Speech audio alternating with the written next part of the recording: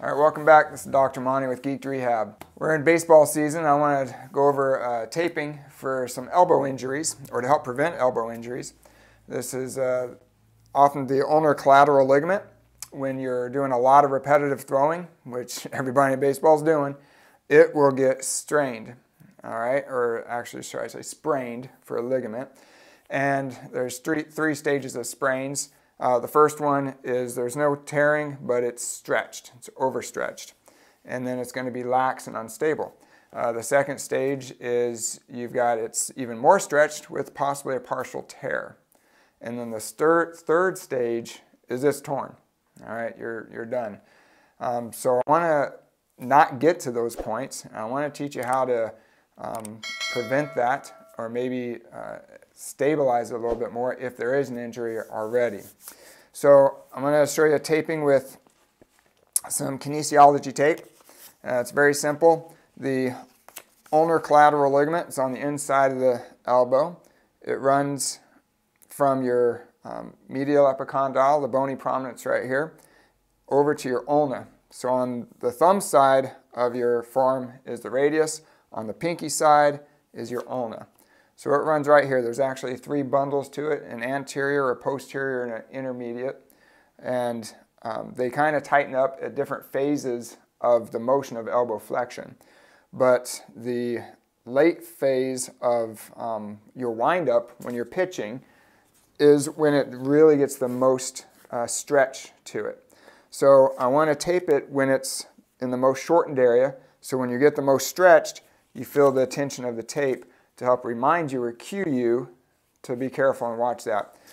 The tape itself, uh, this kind of tape, kinesiology tape, is not going to prevent or resist your motion, but it'll cue you and remind you maybe to, hey, take it easy and be a little careful.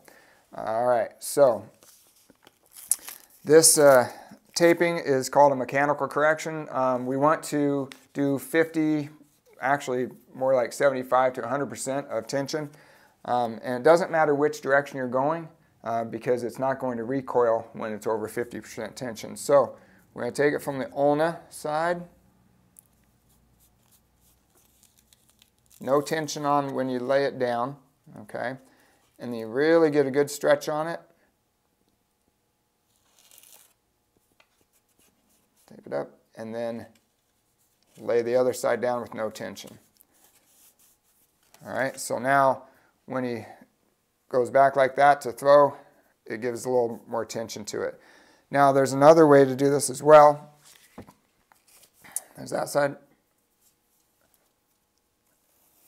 And there's another tape. I'm not going to say whether one's any better than the other, um, but it's just a different way to, to do the taping.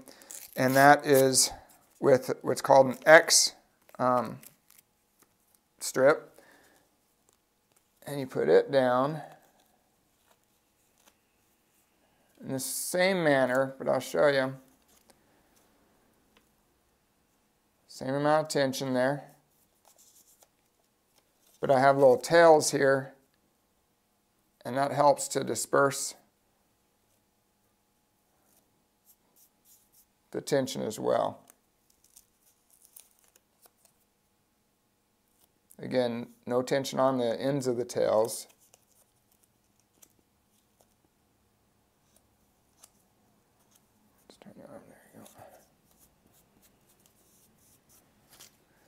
All right, so you can try one or try the other and see which one works best. But again, you see how that will tension up when he goes to throw it in that light, late phase of windup.